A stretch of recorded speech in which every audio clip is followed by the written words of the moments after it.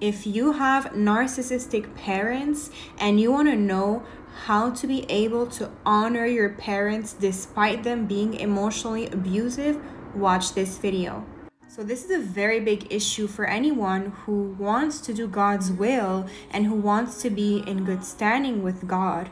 But a lot of us have parents that don't necessarily fit the biblical definition of a parent because some of us have parents that are parents in the flesh, not in the soul, meaning that, well, they're your biological parents, right? They gave birth to you, but they never really acted like a parent should. They never guided you, they never provided the emotional support, the emotional security, the love, the protection, the healthy environment for you to be able to flourish as a healthy adult. And they left you with some trauma and some obstacles to overcome on your own too many people only talk about one side, about the biblical requirements for children towards their parents, but they never talk about the biblical requirements of parents towards their children.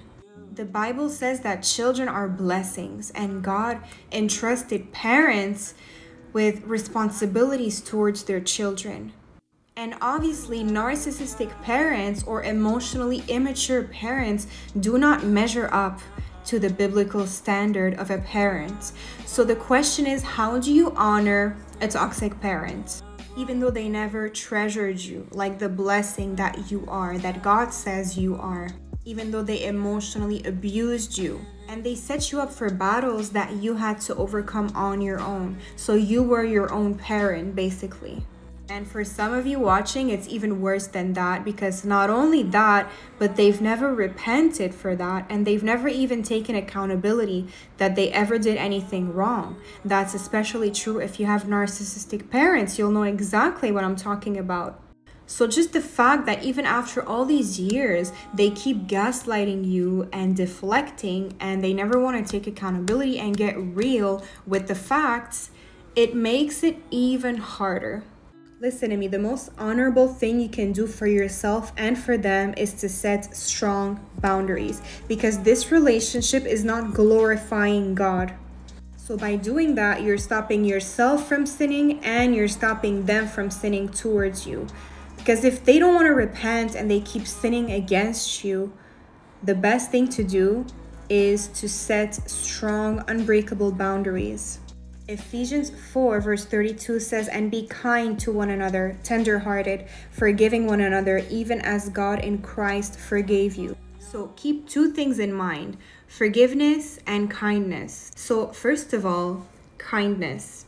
Kindness is not being nice. Kindness is with the actions, being nice is with the talk. Being nice is forcing disingenuous conversations, forcing a connection that is not there. Being kind is being respectful and compassionate, and I would say being kind is really with the actions, whereas being nice is with the talk. And you can still be kind and forgiving while enforcing the proper boundaries. Being kind does not mean enabling sin.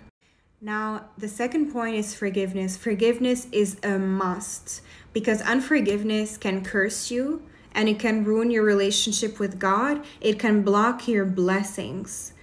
You deserve to forgive for your own sake. First, for your relationship with God, and second, for you to be free from those emotional burdens.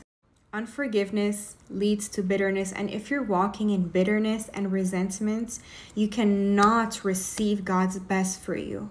So, you deserve to forgive for your own sake and also for God to forgive you of your sins. And if this is something that you struggle with, it's very important to address it.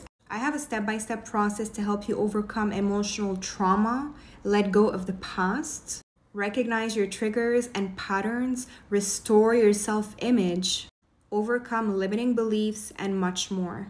The process is straight to the point, no fluff. It's seven modules, and you can complete it in one to three days and it comes with practical exercises which makes all the difference between just learning and actually applying and actually experience real change. The link is in my bio. And I'll make a part two on forgiveness because so many people have misconceptions about forgiveness, and forgiveness is extremely important. So, follow for part two, and God bless you.